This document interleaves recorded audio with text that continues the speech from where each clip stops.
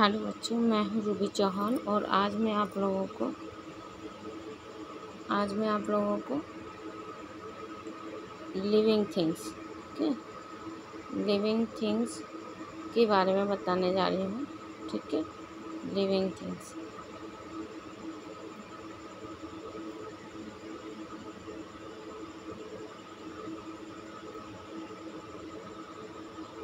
तो यहाँ पर लिखा है we see many things around us B मतलब हम सी मतलब देखते हैं, मैनी मतलब बहुत सी थिंग्स मतलब चीज़ों को अराउंड अस मतलब अपने चारों ओर, ठीक है? हम अपने चारों ओर जो कुछ भी चीज़ें देखते हैं, बहुत सारी चीज़ें देखते हैं some are living things and some are non living things सब मतलब कुछ उसमें से क्या होती हैं लिविंग थिंग्स होती हैं मतलब जिसमें जान होती है, वो लिविंग थिंग्स कहलाती है, और कुछ उसमें से क्या होती है नॉन लिविंग थिंग्स जो अपने आप मूव नहीं कर सकती, एक स्थान से दूसरे स्थान पर चल नहीं सकती, बड़ी नहीं हो सकती, है ना? ये सब क्या हुआ? Non living things so living things have life जो लिविंग थिंग्स है, उसका क्या है? उसकी लाइफ होती है। जो लिविंग थिंग्स है, उसके अंदर क्या होती है? लाइफ होती है, ठीक है?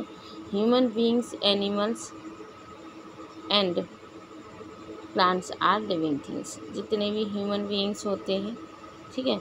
वो सब क्या होते हैं? वो लिविंग थिंग्स होते हैं, ठीक है?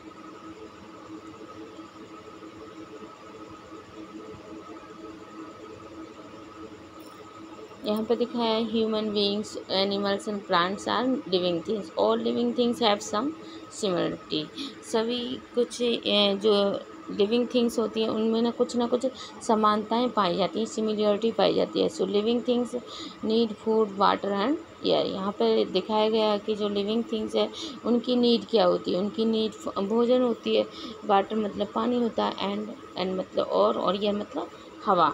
उनकी नीड जो लिविंग थिंग्स होती है, उनकी जो आवश्यकता होती है, वो भोजन, पानी और हवा होती है।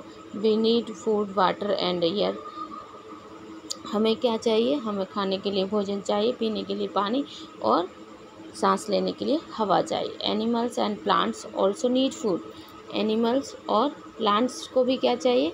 खाने के लिए भोजन और पीने के लिए पानी और सांस लेने के लिए एयर चाहिए। They can not live without them ये जितने भी लिविंग थिंग्स हैं, ये इस तीनों, इन तीनों चीज़ों के बिना नहीं रह सकते। कौन कौन सी वो तीन चीज़ें? Food water and air if a human being feels pain यदि कोई भी व्यक्ति, कोई कोई भी मानव आप जो दर्द होता है, दर्द को महसूस करता ही express is it by crying तो वो किसके द्वारा प्रदर्शित करता है, किसके द्वारा दूसरों को बताता है, वो रो करके बताता है, ठीक है?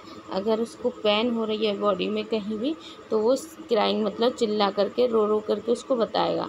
A dog barks when it seen dangers ठीक है? जो कुत्ता है, वो कब भौंकना शुरू करता है?